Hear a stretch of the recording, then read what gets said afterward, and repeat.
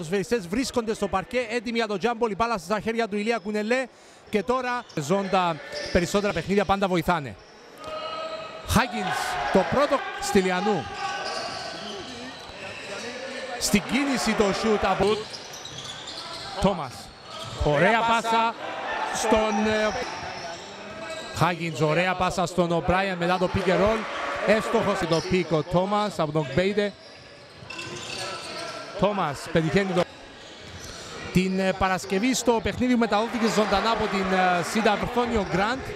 Ο Σάιμον που έχει ανέβει πάρα πολύ τα τελευταία δύο χρόνια, βοηθάει πάρα πολύ την του κεραυνού. Κρατάει σταθερό πόδι όμως ο Αμερικανός, επιθετικό το rebound από τον, ε, από τον Κύπριο. Είναι αυτό που λέγαμε, ο Σάιμον που πέρα από πολύ καλός παίχτης είναι και 93-86 την ΑΕΚ και πήρε τον τίτλο με τρία νίκες. Τόμας στον Χάγκινς, τον πρώτο σκορ του αγώνα. Για τρεις ο Θεοχαρίδης μέσα. Ο αρχηγός. Κανείς σε αυτό το νησί να το διαψεύσει αυτό. Βέβαια. Ύστερα είμαστε εδώ για να διατηρήσουμε τον τίτλο.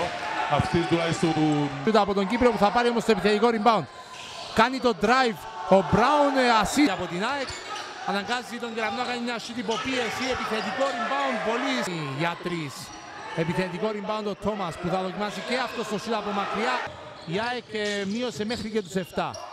Για τρεις μετά από την πάσα στην το, από, το, από τη ρακέτα ο Στυλιανού που θα πάρει τώρα το shoot τριών πόντων μέσα. Επανέλθει από τον τραυματισμό του όσο δυνατό πιο σύντομα.